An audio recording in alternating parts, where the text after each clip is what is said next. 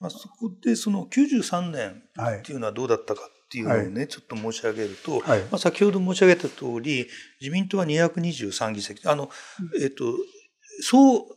あの全議席が511議席です。そうですね。だから256、256が過半数ですね。それに対して自民党は223議席に、はい、えー、終わりました。はい、でその次はね、えー、社会党が70議席なんですけど、あそうですね、もうね、70議席は相当減らしてるんですよね。うんうん、えー、それで、えー、新政党とか日本新党っていうのが、えー、躍進して、まあ、新政党が55議席、日本新党はこの時初めて出てきたんですけども、うん、えー、35議席と、うん、えー、いうことで、えー、結局ですね、何が起こったかっていうと、野党第、ああの、比較第一党は自民党だったにもかかわらず、うん、そして野党の最大野党の社会党でも70議席だったにもかかわらず、うん、えー、新政党だとか日本新党だとか、まあ、要するに、まあえー、数十人規模の政党がパッと寄り集まって、えー、と7党1派って言いましたっけね、あの時ね。そうですね。それで日本新党の主犯、あの代表だった細川さんを主犯指名して、うん、細川政権が誕生すると。うん、そういうことが起こったんですね。これ,、これはね、うん、あの本当に小沢一郎の芸術って言われましたけどね、えー、えー、この仕込み方はなかなか上手だった。逆に言うと小沢さんがね、あのこういう局面で成功したのはこの時だけだったっていう私は思ってますけどね。うん。ね。あといろんなところで全部、うん、このいろんなこと、理屈はいっぱいいて、その行動するんだけども、あの大きく実ったことは一回もなかったですね。うん、民主党の、だから2009年の政権交代でさえ彼はその目前にして代表を降りちゃうわけですからね。これはもう、あの、この時も私は、小沢さんここで降りちゃダメですよっていうのを随分言いに行って、これはもう小沢さんこうね、矢が当たって傷つきながらそれでも突っ切っていく小沢さん、それでも首相になってしまう小沢さんっていうのを見せてくださいって、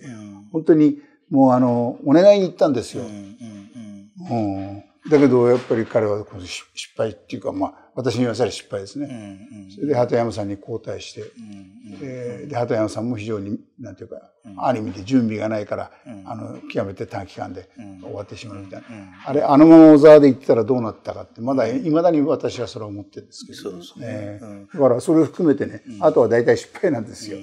剛腕と言われますけどね。で、この時は大成功だった。そうですね。えー、まあ、あの、こう、驚くべきはね、まあ、普通だったら、あの、自民党がどっか取り込もうとするじゃないですか。うん、それで、この時は、えー、日本新党と先駆けっていうのが、うん、えー、組んでて、うん、えー、日本新党先駆け連合に自民党はアプローチするんですね。それで、えー、自民党と野党の間で日本新党先駆けが取り合いになるわけです。そういうことですね。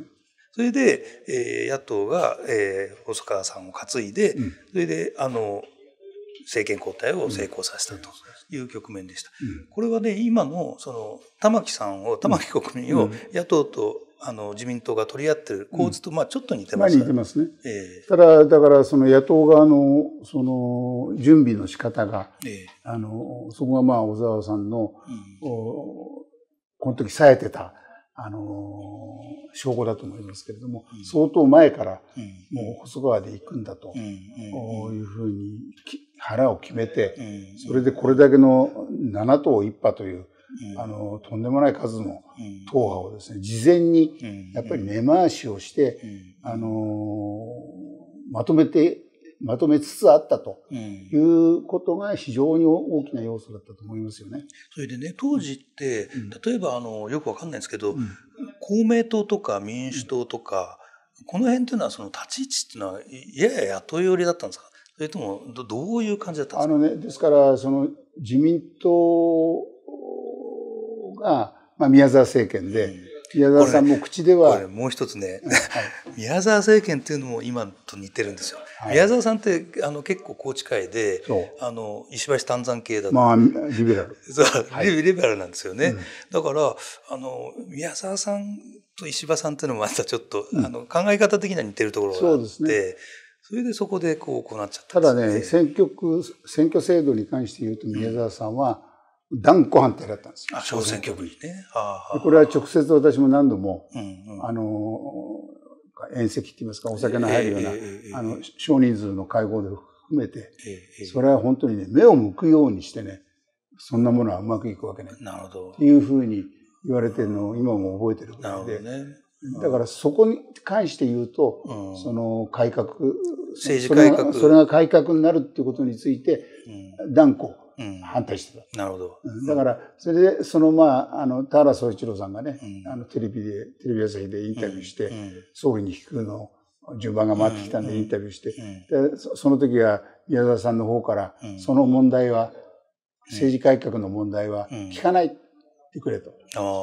いうふうに言って、田原さんはいいですよって言いながら本番になったら聞いちゃうんですよ。ああ、そんなことがあったんですか、まあ、平気でズルするから、その方が面白いから。うんうん、それで、と宮沢さんは、え、それはやりますよ。政治改革やりますよ。えー、言わざるを得ないじゃん。そこでやりませんと言えない。それで、その、そのことで、後で、その、ね、やらないじゃないかとなるわけです、自民党の中はね。それは、渡原さんが、あの、俺が宮沢の首切ったんだっていう、まあ、言うんですけど、まあ、まあ、一面そうなんですけど、あの、まあ、ちょっとルール違反って言いますか、その宮沢さんにかわいそうだったですね。なるほどね。だから、まあ、そういう意味で、その政治改革に後ろ向きだというのが、まあ、正解では知れ渡った。そうそうそうそう。それで、それが。まあ、もし小選挙区制が政治改革だとすればの話ですけど、ね。すればですね。はいはいはい。それはまた別問題です、ね。また別問題。それで、それで踏ん切って、小沢さん、畑さんたちは出ていく。出ていく。それから先駆けも出ていく。この時点でもこういろいろあるわけですよね。野党との交渉、下交渉みたいな。そうですね。で、その時の、その、まあ、その、彼らが出てくるっていうことが、この、えー、55年体制崩壊の非常に、あの強い強烈なインパクトになるんですけど、その前にやっぱりその社会党と公明党、民社党まで含めて、えー、そのそういう新しい党じゃなくて、今まで既存の野党の中で政治改革はやっぱりこれはそのこの際小選挙区制で行くんだという意思統一がだいぶ進んだったんですよ、あそうですか、うん、これはね特にその社会党が一番大きな塊だったわけですから、うんうん、1.5まあ二大政党制ではない1.5大政党制だって言われるぐらいの、まあ、0.5ぐらいの力を持ってたわけです。から。でその社会党では当時その山花委員長、赤松職長という時代ですよね。それで彼ら、この二人は、あの、やっぱりここは、あの、小選挙区制にすることで、その、本当に改革になるのかどうかっていうことは実は、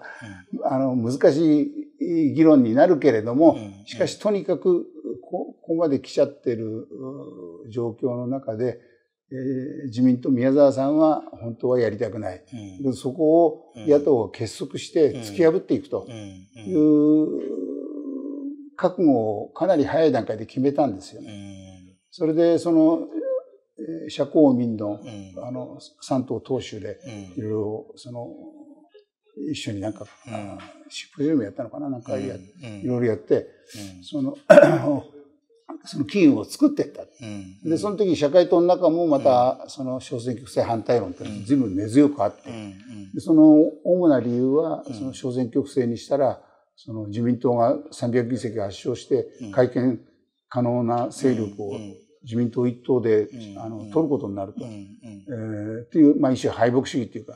小選挙区制にしたら絶対勝てないぞと。いう、そういうのがあの左派の連中を中心にしてあったわけです非常に強く。でそこでそのその議論には僕なんかも巻き込まれて、あの山根さん赤松さんのあの、あれ、こう、なんていうか、手伝ってくれみたいな話もあってね、うん、その議論には結構噛み込んで、うん、で、僕はその、その3党、社公民の結束を維持して、うん、えー、そのまんま、そその、それで選挙になったら、その3党を中心になった政治改革政権を、非自民、政治改革政権を作るんだって旗を掲げ続けるということになると、その、三党連合は勝てると。うん、なるほど。政権に届くという、そ、そこを示し続けていきましょうよというような議論が随分あったんですね。なるほどね。だから、まあ、それまでは55年体制って言われてるように、まあ、中選挙区で、まあ、慣れ合っていたのが、まあ、ここは勝負で、小選挙区で日本を変えようと、えそんなような機運が高まってきたと。だと思いますね。やっぱりその時ね、やっぱ赤松さんの役割ってのは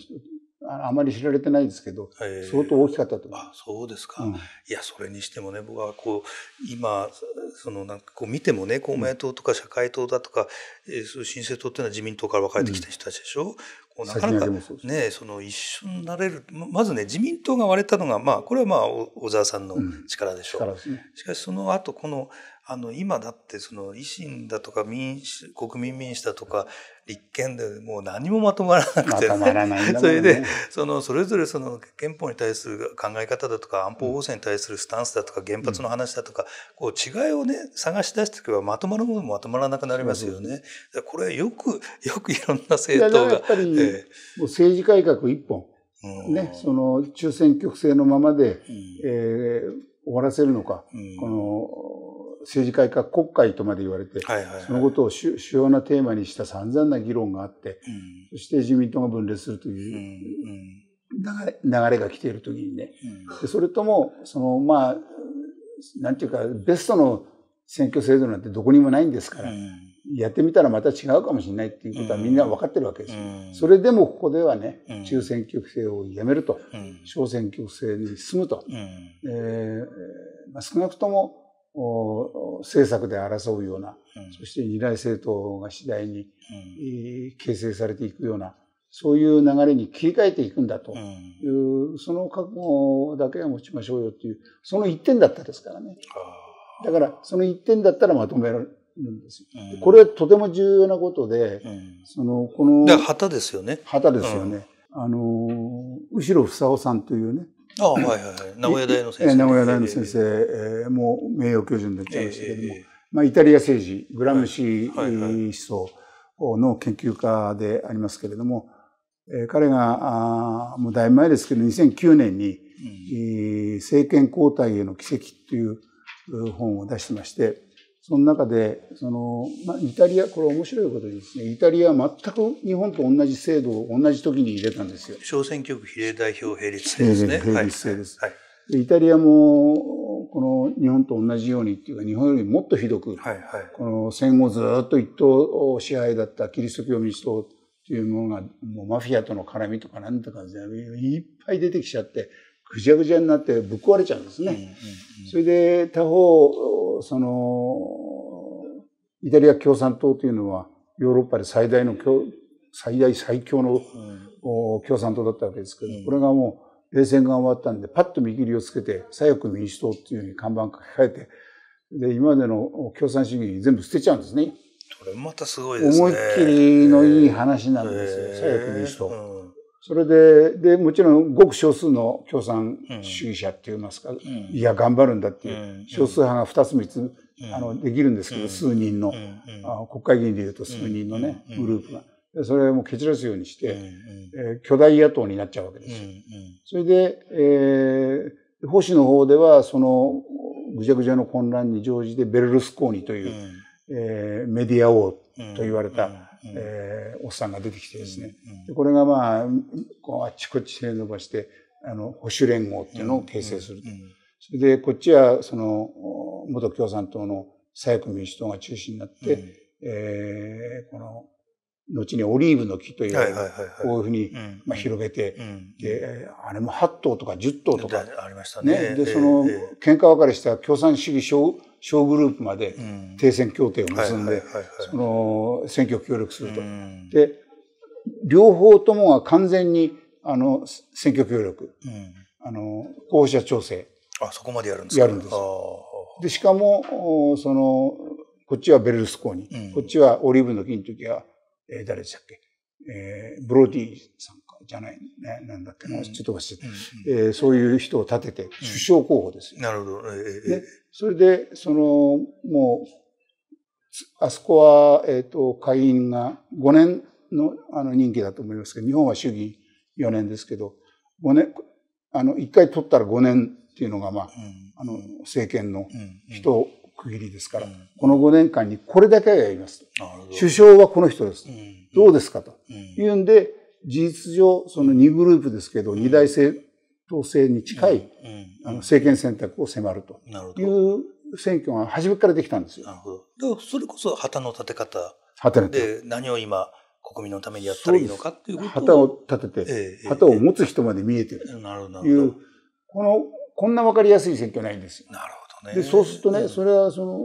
そのさっきおっしゃったように、ええ、ずっとその、